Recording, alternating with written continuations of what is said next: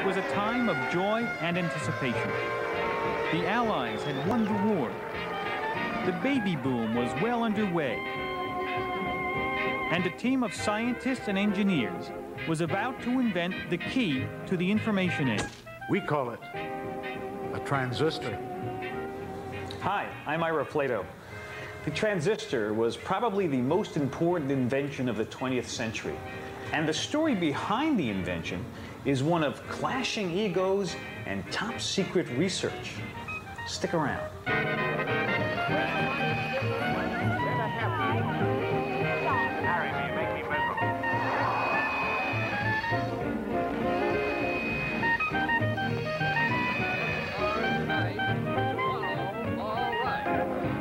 Major funding for Transistorized is provided by the Alfred P. Sloan Foundation to enhance our understanding of the world around us and of the increasing role of science and technology in everyday life.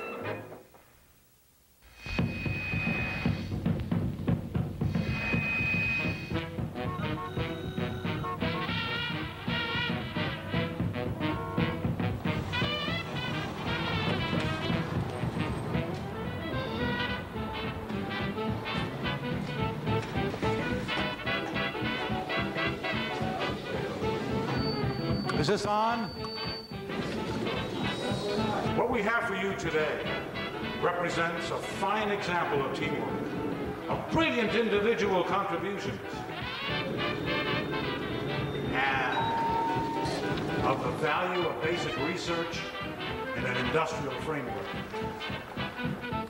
This cylindrical object, which I'm holding up, is a device that can amplify electrical signals as they are transferred through it. It is composed entirely cold, solid substances. We call it a transistor.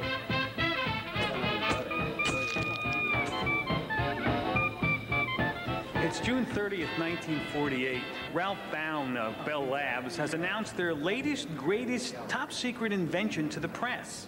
It's designed to replace the venerable vacuum tube. And even though he's up there extolling the virtues of his newest device, he hasn't got a clue of the revolution the transistor will trigger. In fact, no one does. No one could have predicted the sweeping changes such a small object would create in business, education, and culture.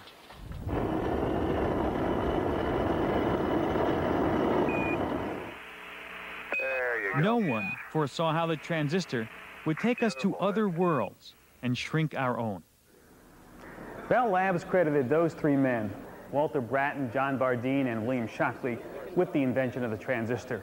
You heard Bown call them a fine example of teamwork. But what Bown didn't say, but which he knew, was that clashing egos and bitter rivalries had already made it impossible for the three of them to ever work together again. They were three men of extraordinary talent and very different personalities. Walter Brattain, the oldest, was an experimental physicist who could build and fix just about anything. Walter was a was sort of a marvelous character. Uh, you'd almost say a homespun character in the sense that uh, he, he his voice was uh, was sort of a raspy uh, voice, and he was very plain spoken. John Bardeen was a theoretical physicist, one of the 20th century's greatest. John was a very mild-mannered man. Never raised his voice. Just remember him as being uh, flat. He controls his emotions. Bill Shockley, the team leader, was the youngest.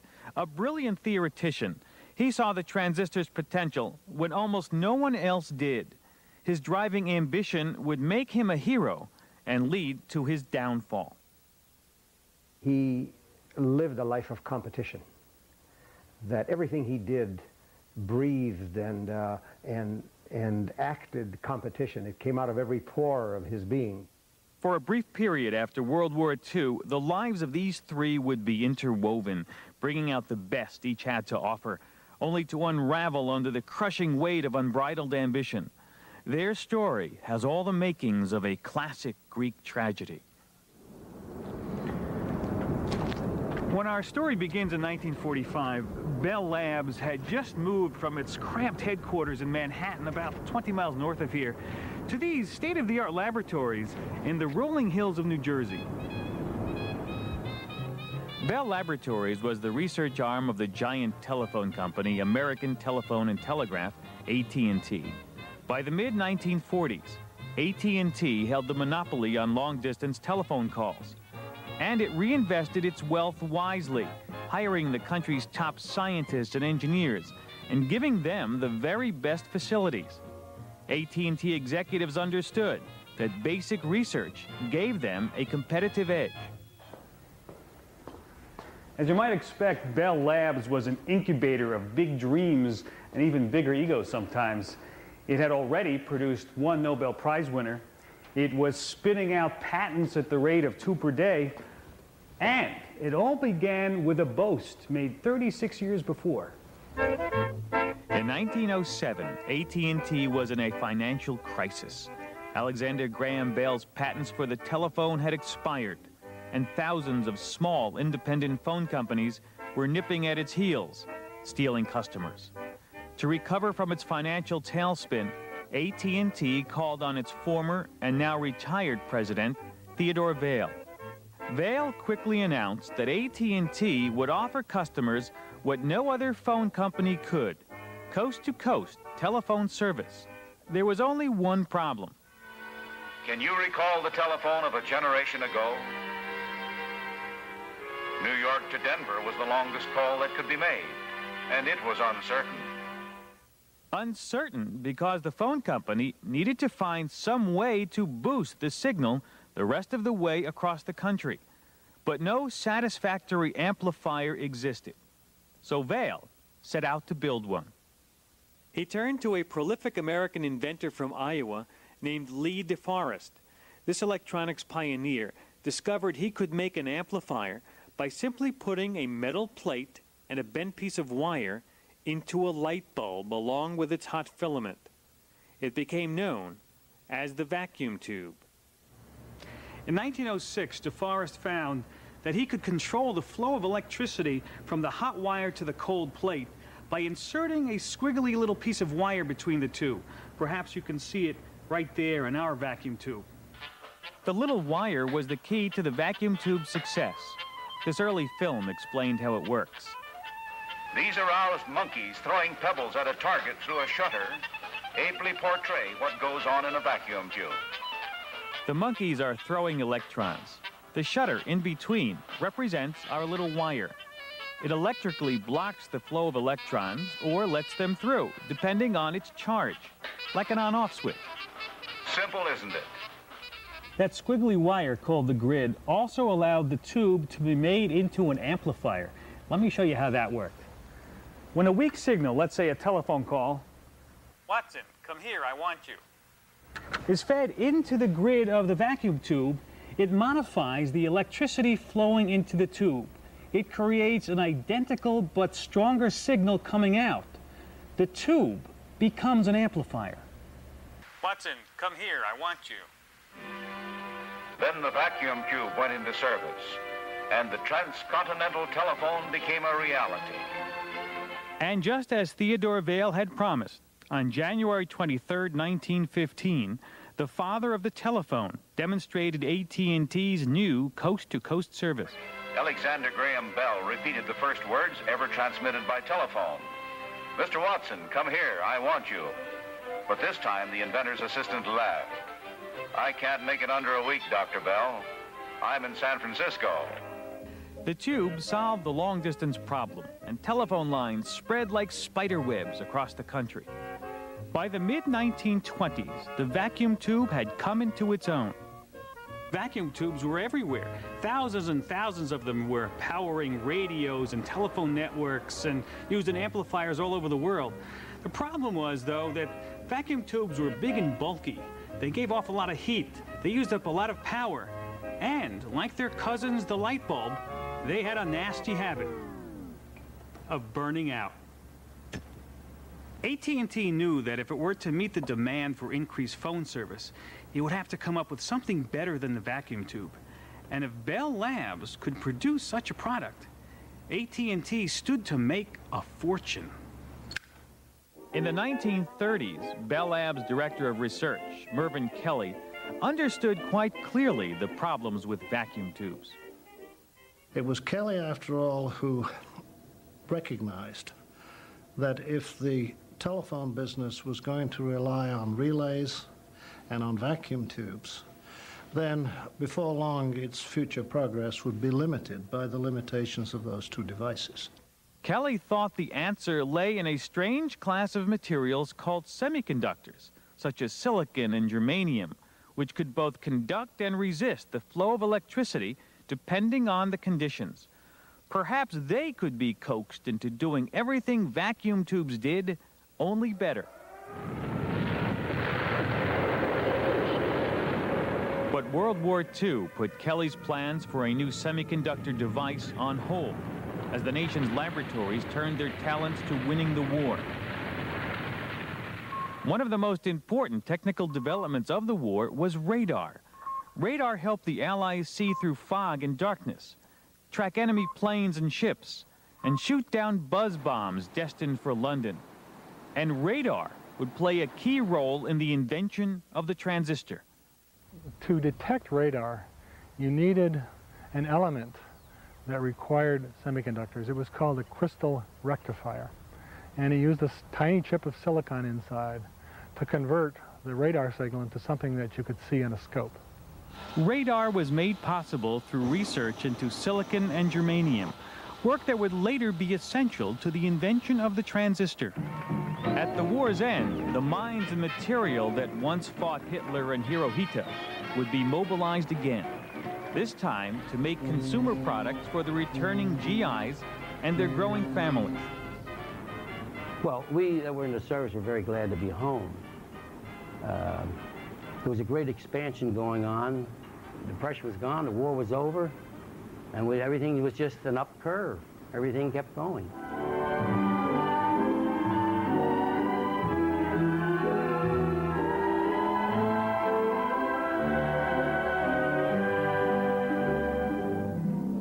Everyone wanted a piece of the good life.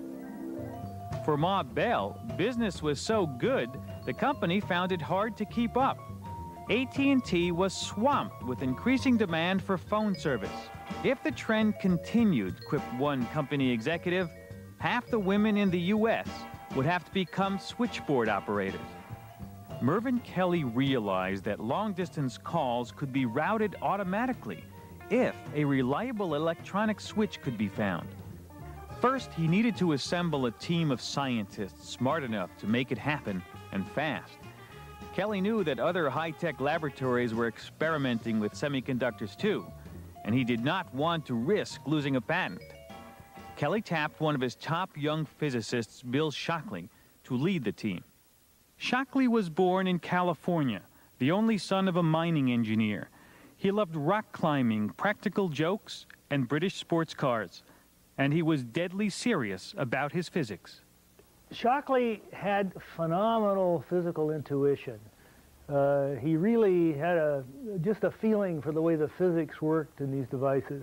I had a colleague that said he thought Shockley could see electrons, that his physical intuition was so good. Shockley was a brilliant theorist, but lousy at building experiments. He knew he needed someone who worked well with his hands, just like Bell needed Watson.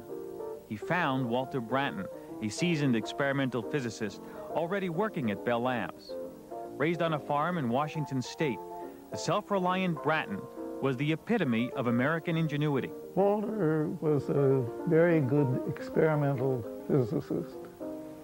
He could uh, put things together out of sealing wax and uh, paper clips, if you wish. Shockley then hired John Bardeen, a brilliant theoretical physicist trained at Princeton University. An expert on the movement of electrons within solid materials, he understood the subtleties of semiconductors. Bardeen was the precocious second son of a medical school dean from Wisconsin. He skipped three grades and entered college at the age of 15. They called him Whispering John. Bardeen was really a quiet, contemplative, very deep kind of person, whereas Shockley was quick. Uh, and that was initially very complimentary. He would complement Shockley's own expertise, and more importantly, with capable John Bardeen in the laboratory, Shockley would be free to work on his own. With those key players in place, Shockley filled out his team with an eclectic mix of physicists, chemists, and engineers, working to attack the problem from all sides. The kind of team that had worked so well during the war. It was an example of uh, very good teamwork, and I have had personal experience in teamwork having been a bomber pilot.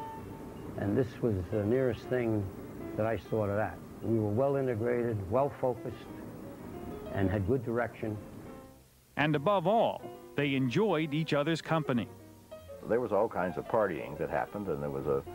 It was not at all uncommon for a uh, for a bunch of folks to go to lunch at Snuffy's down in uh, in Scotch Plains for, for lunch and uh, and have a few beers along with the steak that was uh, uh, was available there. Betty Sparks was Bill Shockley's secretary. Bill, of course, liked uh, tricks. He jacked up the rear end of our getaway car from our wedding party so that the real wheels just spun like mad until everybody out in the front lawn of our home was laughing and getting it back down on ground where we could buzz off to New York City. This song is called Hell's Bells Laboratory. It's a song that was written in uh, the middle 50s and, and sung at various conferences uh, at the time. Written by Ian McIntosh. We've traveled a long way to bring you this song, a brand new calypso we're sure to get wrong, about the reform school to which we belong. It's the Hell's Bells Laboratory. It's the Hell's Bells and buckets of blood. It's the Hell's Bells Laboratory. Our walls are all graced by the periodic chart. Shockley's picture is sewn over our hearts. Bardeen and Brattain Hell's Bells Laboratory. At the Hell's Bells and buckets of blood at the Hell's Bells Laboratory.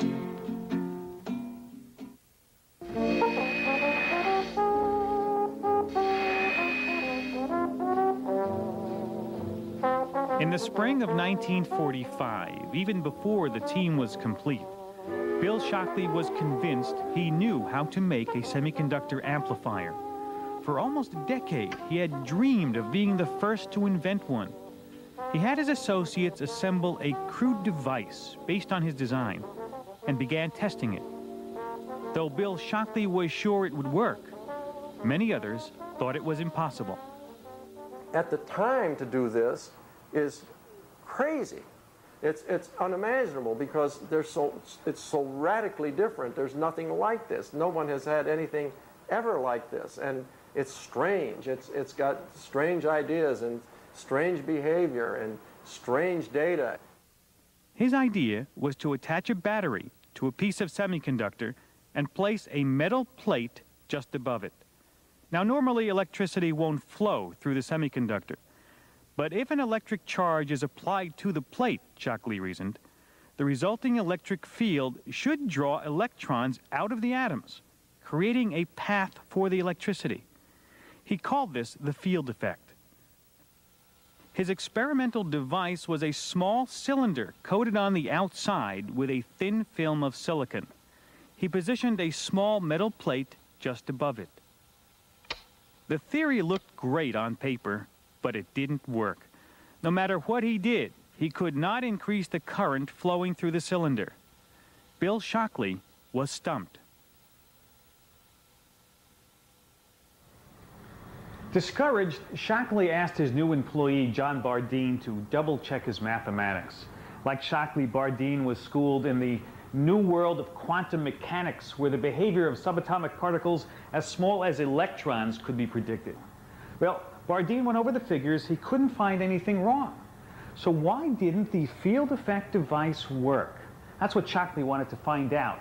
So he assigned Bardeen and his new close personal friend, Walter Brattain, to come up with the answer. Shockley then envisioned himself returning to the laboratory to complete the invention of the transistor. I think he uh, was simply giving them a problem that needed to be solved.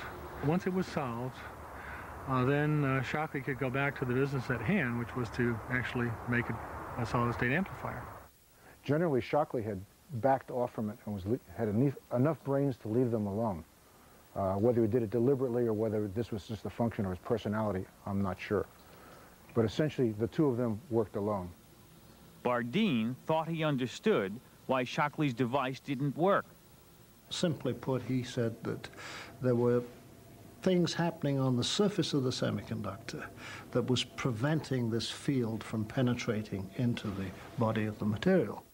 Bardeen believed that electrons were trapped on the surface of the silicon, creating a shield so the electric field could not reach the electrons on the inside. The pair set out to understand the mysterious details of this surface barrier. Walter Brattain spent most of his time in the lab, building and conducting experiments. John Bardeen would suggest new experiments and interpret the results. It's John who does the heavy-duty thinking, and Walter, who was a, a, very good experimentalist, with John around, was a great experimentalist. And, and, and Walter knew that. Brattain and Bardeen worked very closely, but would often call in Shockley and other members of the team for advice. They were embedded in the remarkably productive environment of Bell Labs at Murray Hill in those days. They had access to other people within Shockley's group. They had access to other people outside in metallurgy and chemistry. Uh, and they were perfectly free without any bureaucracy to, to call on help wherever they needed it. Walter Brattain's diary reflects how pleased he was with the team. I cannot overemphasize the rapport of this group. We would meet together to discuss important steps almost on the spur of the moment of an afternoon. We would discuss things freely. Brattain and Bardeen began tinkering with thin slices of silicon, searching for a deeper understanding of the surface barrier and they started making electrical measurements on the surface of, uh, of germanium and silicon and varying the surface properties to see if they could confirm his theory.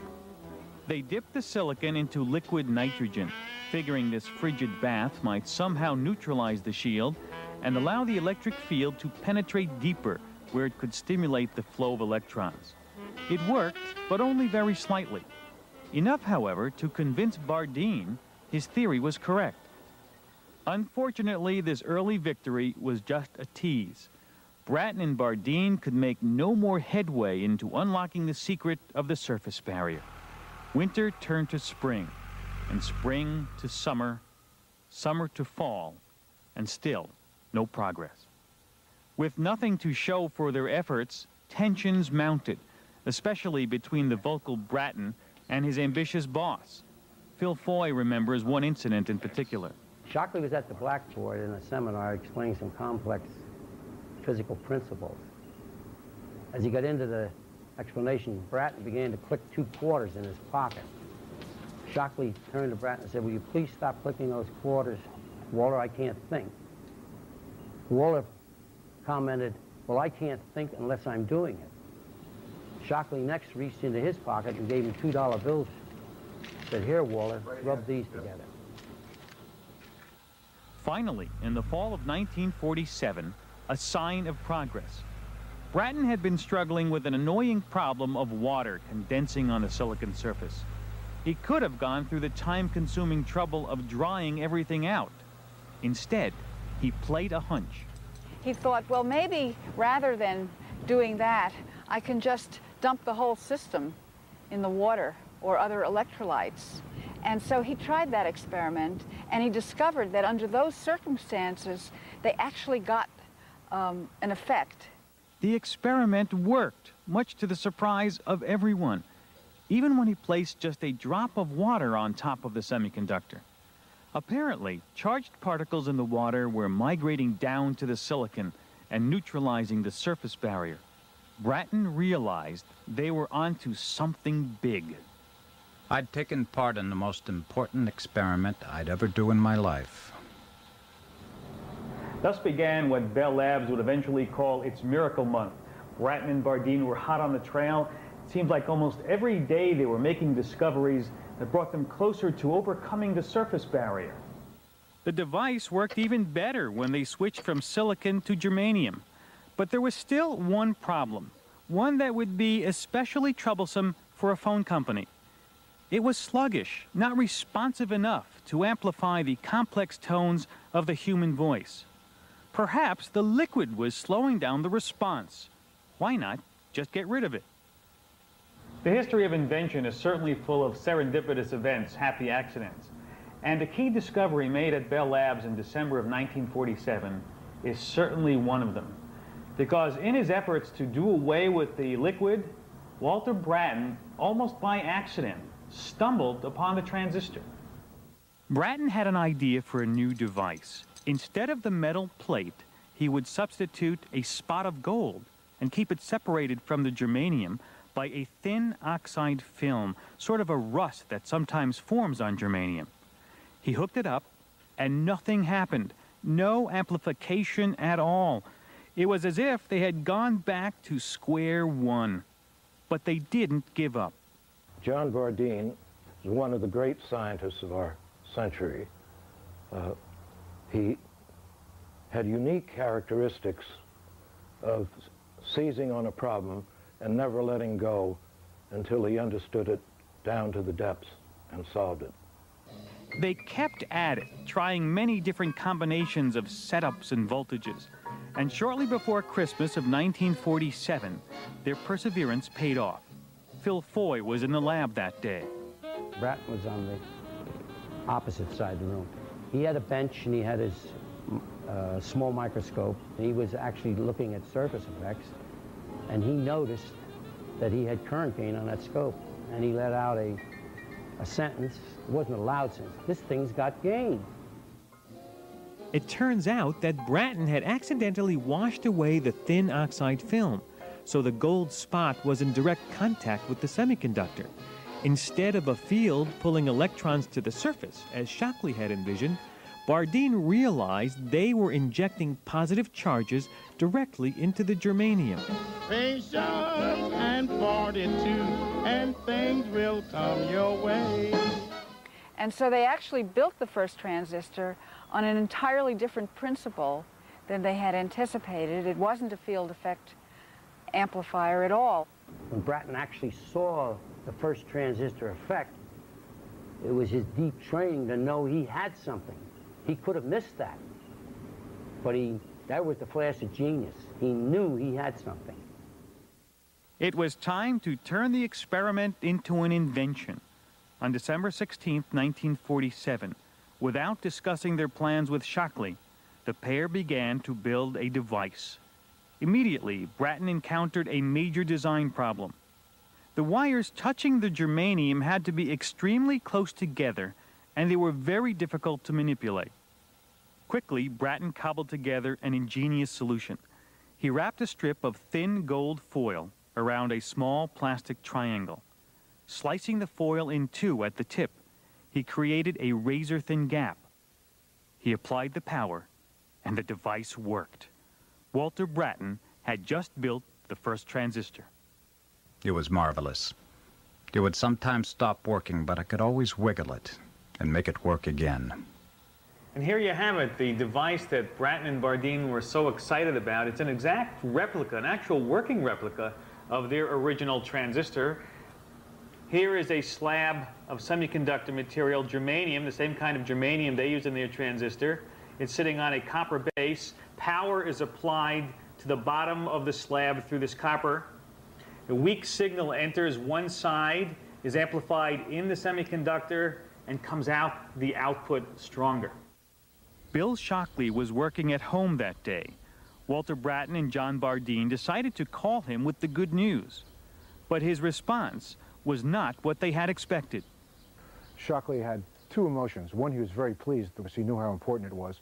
And I think he genuinely did like these two people. He was also stunned and angry and disappointed because he realized at that moment that they had done it and he had not. That phone call from Brattain and Bardeen changed Bill Shockley's life forever. His friends said he was never the same. And then there was this remarkable change in character and outlook. He became more ingrown, intense, and his friends saw less and less of him. His subordinates had just invented the device that Shockley had been dreaming about for years, and they might get all the credit. He would have to do something to get back in the game and do it fast.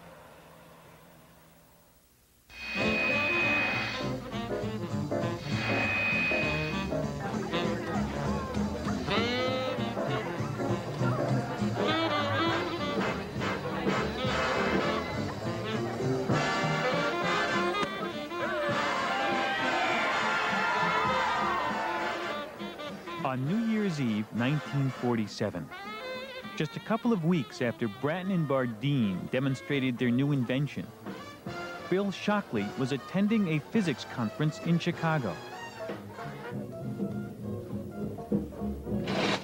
Ignoring the celebration, Shockley stayed in his room, impatient to put the ideas swimming in his head onto paper. He realized that Brattain and Bardeen's device would be fragile and difficult to manufacture. Shockley would take advantage of these problems. He would invent a better transistor. Brattain and Bardeen's point contact transistor worked this way. One input point, one output point, contacting the surface of the semiconductor. But as you can see, the points can loosen up and the surface of the semiconductor can become marred and useless. Shockley had a better idea. Why not mimic the vacuum tube and create a three, one, two, three layer sandwich? This way we can move the input around to the other side, just like in a vacuum tube. So electricity would flow in the input and come out the output. And in between would be a third layer, just like the grid in the vacuum tube. A small electrical signal coming in the grid would influence a larger electrical current flowing from the input to the output. Voila, just like the vacuum tube. This was a brilliant idea because it made up for the shortcomings of the point contact transistor. And all of this work he did and uh, had it written down in his notebook and witnessed by fellow Bell Labs employees within four weeks of the, uh, certainly within a month of the original invention. That was a extremely productive period. Bill Shockley returned to Bell Labs from Chicago and told no one. He redrafted the idea at home, telling neither Brattain nor Bardeen, keeping them in the dark. It was an insult the two would never forget. The first crack in the harmonious team had been created, a rift that would widen and eventually destroy it. Brattain and Bardeen essentially got pushed aside. And uh, we're working on research into the surface, into the point contact transistor, that Shockley probably knew was a blind alley, a dead end. My difficulties stem from the invention of the transistor. Before that, there was an excellent research atmosphere here. After the invention, Shockley at first refused to allow anyone else in the group to work on the problem. In short, he used the group largely to exploit his own ideas. I could not contribute to the experimental program unless I wanted to work in direct competition with my supervisor, an intolerable situation. A tense situation became even worse when Bell Labs lawyers began writing the patents. Shockley insisted that he be named sole inventor of Brattain and Bardeen's device. Shockley felt that what Bardeen and Brattain had done was derivative of his own ideas. He always thought that the light bulb always went off in one mind. And so he felt that his name should be on the patent all by himself or together with Bardeen and Brattain. But Bell Labs lawyers decided to play it safe. Instead of applying for a patent on Shockley's broad idea of an amplifier made from a semiconductor, they focused instead on Brattain and Bardeen's far more narrow device, it would be easier to defend. And the patent attorneys recognized that, uh, that Shockley had played a role in this, but he actually had not been involved in that experiment. Therefore, they excluded him from the patent. With the patents filed, Bell Labs decided it was time to break the secrecy and go public. But what would they call the new invention? They knew such an important device needed a really good name. Walter Brattain sought the advice of his old friend, John Pierce, an engineer who wrote science fiction stories on the side. They'd been describing it in descriptive sentences or a couple of really crazy uh, ideas were put forward. But Walter wanted a meaningful and, but above all, a name that fitted with things. And uh, I provided that. Pierce realized that the new device worked by varying the resistance as current was transferred through it, trans resistance. Then the name should fit in with other things such as uh, varistor and thermistor, uh, which were the names of other devices. And from the, the fitting in with other things and from the idea of trans resistance, I suggested the name transistor. Gentlemen, may I ask you to take your places? And that's what it became. Publicity photos recreating their historic experiments were staged in Walter Brattain's old lab. But as the three men took their places, Bill Shockley sat down center stage in Walter Brattain's seat. Nick Holonyak once naively asked John Bardeen whether Brattain liked the photo. John made a pained look at me, and he, and he vigorously shook his head, and he says, no, that's Walter's apparatus, that's our experiment, and Bill, and he didn't say Shockley, he says, Bill didn't have anything to do with it. Brattain later wrote Shockley, expressing his frustration over the picture, the patent, and being cut off from working on the new device. Dear Bill, a few remarks after sleeping on our talk of yesterday. It appears to me that the discovery of the transistor has ruined the best research team I ever had the privilege to work in. I think there was an effort in the beginning to give the credit to the group as a whole. The patent department squelched this. Bell Labs finally broke its silence, and on June 30th, 1948, Ralph Bown, director of research, made his proud announcement to the press at Bell Labs' old Manhattan headquarters. Is a device that can amplify electrical signals as they are transferred through it. The announcement got very little public attention. The New York Times buried it on page 46. Time magazine placed it in a small section in the Science of the Week. Even engineers thought it was a nice device, but for something that did not need replacing, the vacuum tube. The people I was with in the tube lab laughed and they said, that's just a crystal set thing. That's a joke. That's just some little wire sitting on top of a crystal. And that's like our, our old crystal sets. That's not going anywhere. If you want to do real electronics, you go down to the, to the storeroom and you get some vacuum tubes, uh, capacitors, resistors, inductors, transformers, and go to work.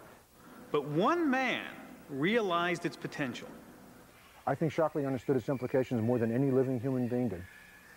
Uh, he was predicting things that came true 20 and 30 years later, and nobody else ever came close. Soon, there were others.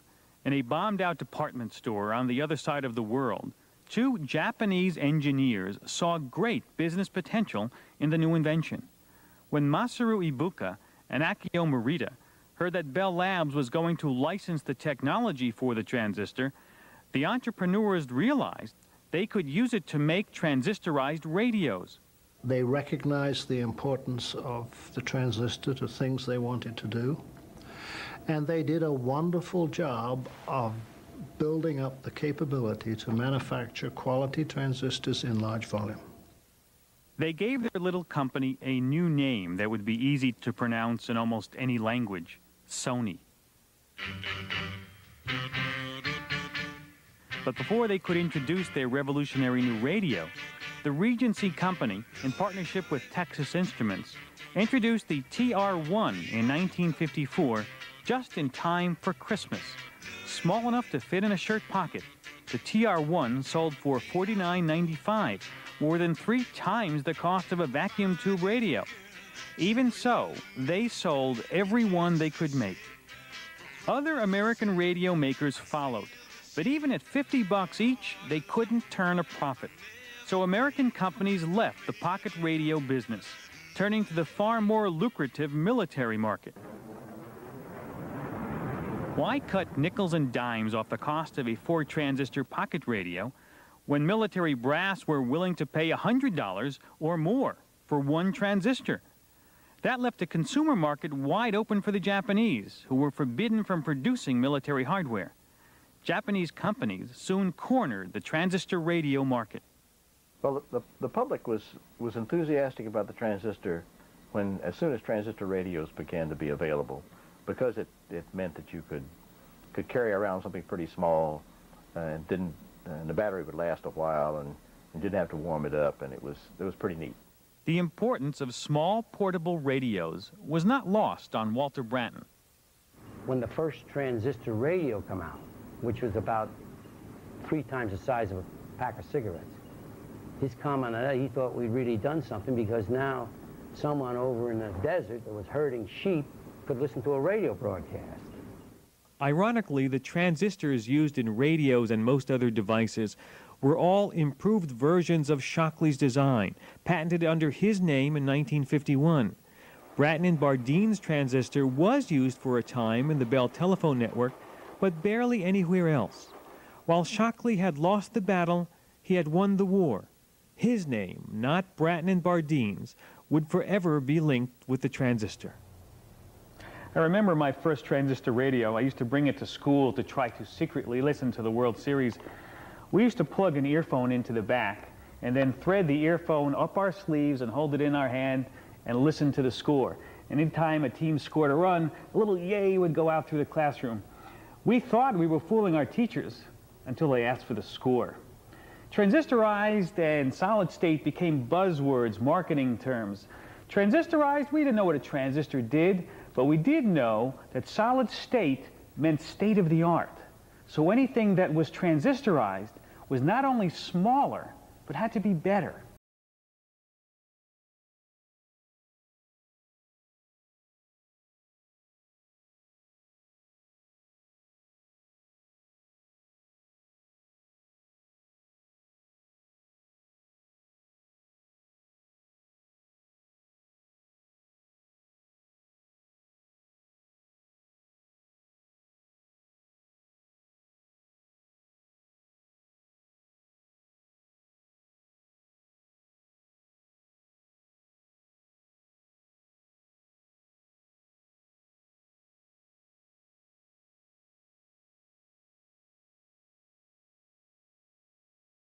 The transistor suddenly opened the floodgates of information.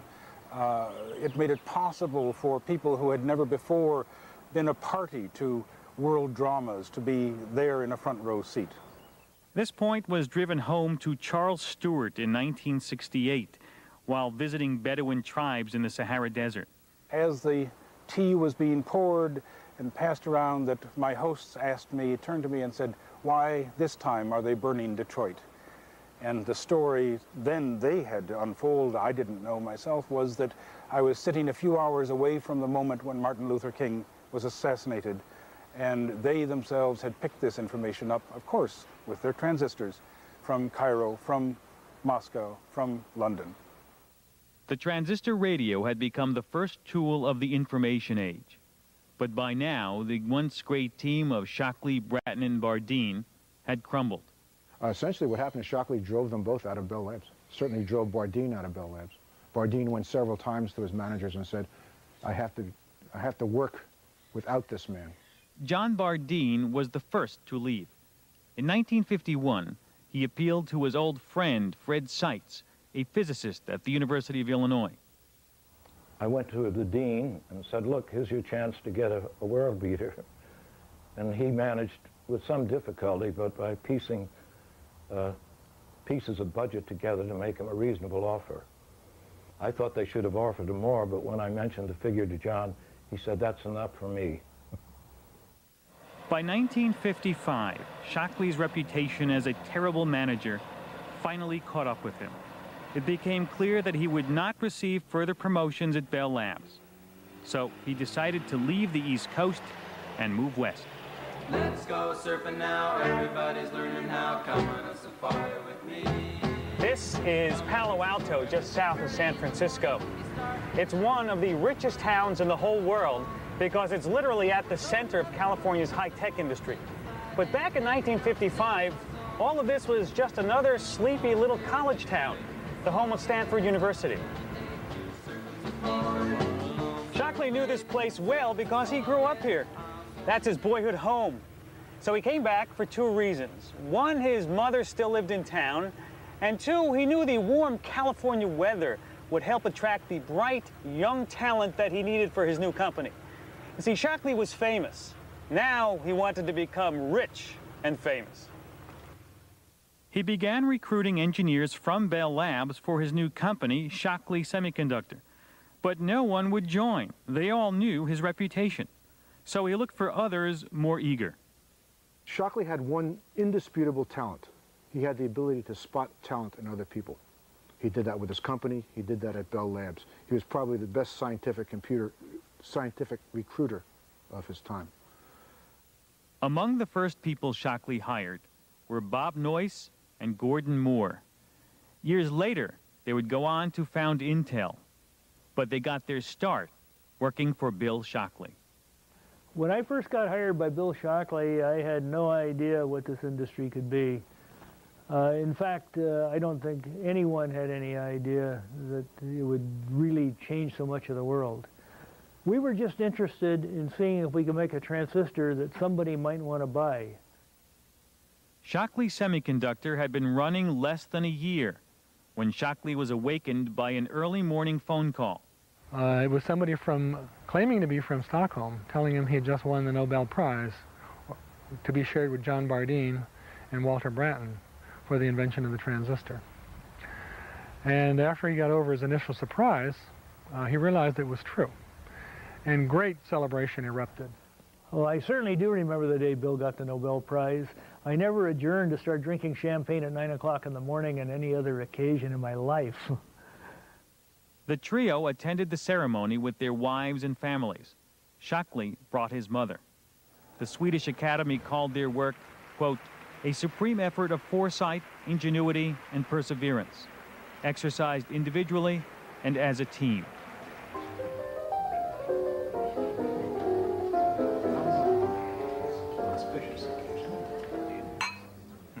After the ceremonies, John Bardeen and Walter Brattain were sharing a nightcap in the hotel bar. In walked Bill Shockley.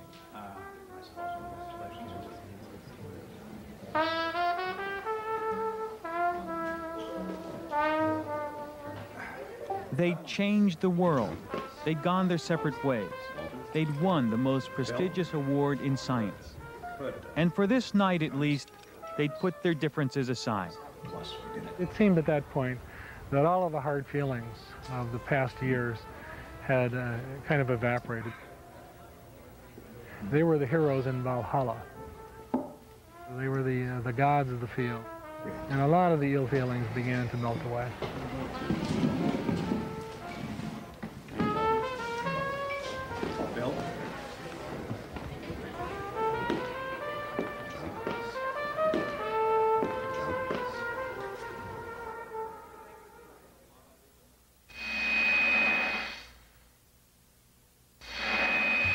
Shockley's celebration was short-lived. Returning to California, he found Shockley Semiconductor in trouble. The company was bleeding money, and history was repeating itself. His prize team of scientists was in revolt. Shockley had in mind a particular device he wanted to have the Shockley Semiconductor Laboratory work on. And the darn thing just wouldn't turn out to be reliable or or uh, economically enough to do the job. But that was Shockley's idea. It was his pet, pet device, and he wouldn't let anybody else work on anything else. He did not want to ha happen in his company what happened at Bell Labs. In other words, two guys going off and doing something monumental. He wanted to make sure that if anything happened monumental, he was going to be the one who was going to do it. After just a year and a half of work, eight of Shockley's best and brightest left to become known in Silicon Valley lore as the Traitorous Eight. They formed their own transistor company, Fairchild Semiconductor. When we started Fairchild, we had uh, no really good idea where we were going, uh, other than that we wanted to make a silicon transistor. Fairchild and Texas Instruments saw a way of connecting transistors without wires or solder and putting four or more on a single piece of silicon. They called the invention the integrated circuit. And Fairchild came out with the first integrated circuit uh, sold commercially in 1961. And that was really a major change in the direction of the whole industry. And uh, those of you who use your PCs today are the distant beneficiary of that original idea of making a complex circuit in one block of silicon. Shockley hired a new crop of scientists, but he could not replace the one person most responsible for the company's problems, himself. If Shockley had been a better manager, he'd be one of the richest people in the world today. He would have been the match for Bill Gates. He is the father of Silicon Valley. He knew better than anybody in the world the importance of these machines, of these transistors. He knew that he was revolutionizing the world. He knew that if his company could, could control the direction the transistor should go toward, that he would be very rich. Bill Shockley never did get rich, but two of the traitorous eight did. Gordon Moore and Bob Noyce eventually left Fairchild Semiconductor to form a little company called Intel, which today is worth billions. Intel makes these silicon wafers. Each one of these little squares is actually a computer chip, the kind you find in your PC. And each square contains four million transistors. So this wafer has about a billion transistors on it, and Intel turns these out by the thousands each day. Many of them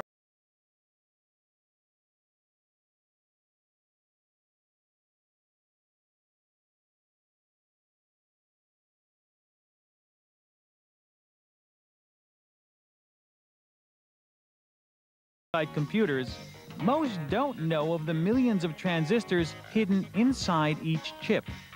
Billions of transistors are now churned out daily by Intel, Motorola, IBM, and other high-tech companies. More transistors are made each year than raindrops fall on California. Ironically, neither Brattain nor Bardeen nor Shockley ever made much money from the transistor. Bell Labs policy required them to hand over their patent rights for $1. And AT&T didn't make much money on it either. It gave up the patent rights as part of its attempt to fend off federal antitrust suits. In 1972, Bill Shockley, Walter Brattain, and John Bardeen returned to Bell Labs for the 25th anniversary of the invention of the transistor. We knew we were onto something very important and that uh, transistors would have many applications. Well, when I was a young man, one considered the only way to save the world was to make everybody literate so they knew how to read and write. But now that the natives in all lands can have a cheap battery-operated transistor radio that they can turn on at night in their camp and listen to any broadcast in their own language whether they know how to read or write or not. We were looking for, uh, for transistors at the same time that we were paying attention to those things that prevented the first field effect form from working. Bell Labs asked them to recreate their famous photograph. Letting bygones be bygones, Brattain and Bardeen agreed. Walter Brattain retired from Bell Labs in 1967. His only regret was that his invention helped stimulate rock and roll. He returned home to Washington State and taught college physics. He died in 1987. John Bardeen won a second Nobel Prize in 1972 for his work on superconductivity. He was the first person to win two Nobel Prizes in physics. John Bardeen died in 1991. Bill Shockley became a professor at Stanford University. He again made headlines in the 70s and 80s for his controversial theories on race and IQ. Bill Shockley died in 1989. Our story ends here in Silicon Valley, 3,000 miles and many decades away from where we began. Apricots used to flourish here before transistors, and today, this is the place of big dreams and even bigger egos. And who knows, perhaps inside one of these plush corporate campuses, some young scientist or engineer is perfecting the next device that will even make the transistor obsolete and revolutionize the world in ways that even we cannot imagine.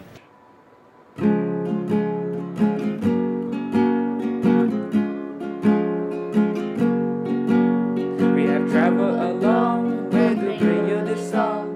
A brand new calypso, we're sure to get wrong.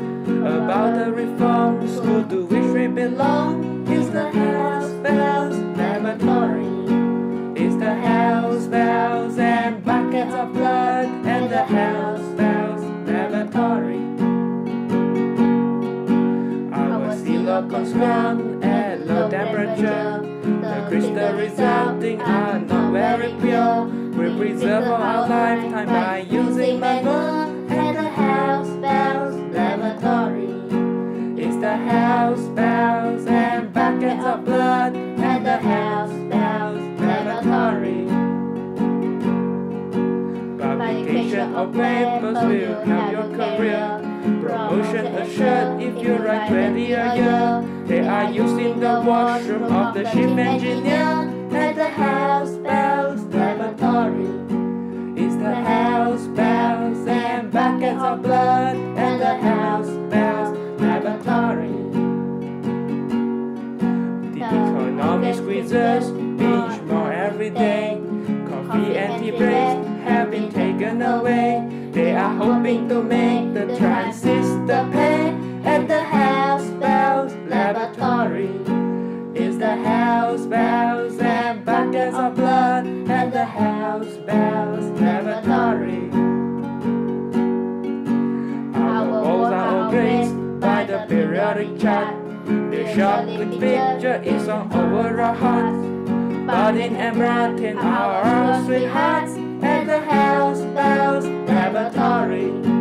At the house bells and buckets of blood. At the house bells laboratory. Dislocation and tramps are the venom of life. Imperfect and cause you trouble and strife. But we pick them all out with our scoutmaster's knife. At the house bells laboratory. The house bells and buckets of blood, and the house bells laboratory is the house bells and buckets of blood, and the house bells laboratory.